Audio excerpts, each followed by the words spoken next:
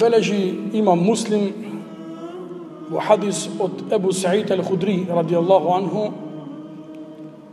دكا بيغمبر محمد صلى الله عليه وسلم ركل اهتجت الجنة والنار. ركل بيغمبر محمد صلى الله عليه وسلم اهتجت الجنة والنار. влегле во расправа дженнет и джехеннем. Расправа меѓу дженнет и джехеннем, кој кого ќе смести во него? Кои ќе бидат жители на дженнет? Кои ќе бидат жители на джехеннем? فقالت النار Па пеколот, джехеннемот, рече Фије ел джеббарун вел мутакеббирун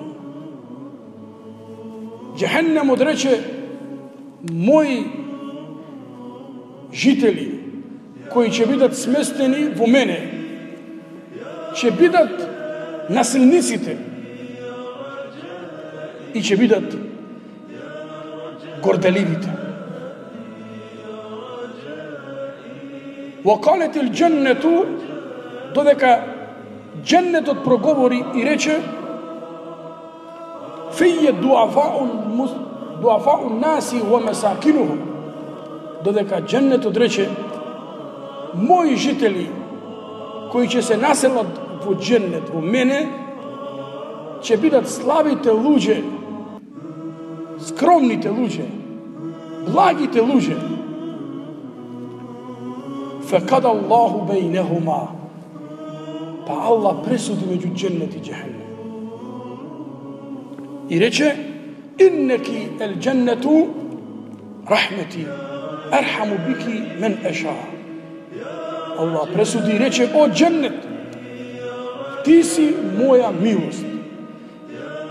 I so tebe će im se smilovam na onije koji sakam. Потоа му рече на пеколот и на джехеннемот, wa inneki naru azabi uazibu biki men ешау. А ти си джехеннем, моја казна, ќе ги казнувам кој кого сакам или оној кој заслужува. И потоа рече, валикилейкума алеје милуха. А и за двајцата ќе има доволен број на луѓе кои ќе бидат сместени и во дженнет и во джехенем. И двата ќе се наполните со жители во вас. Е, сега овој хадис го бележи има муслим, објаснува кој ќе биде жител на дженнет и кој ќе биде жител на джехенем.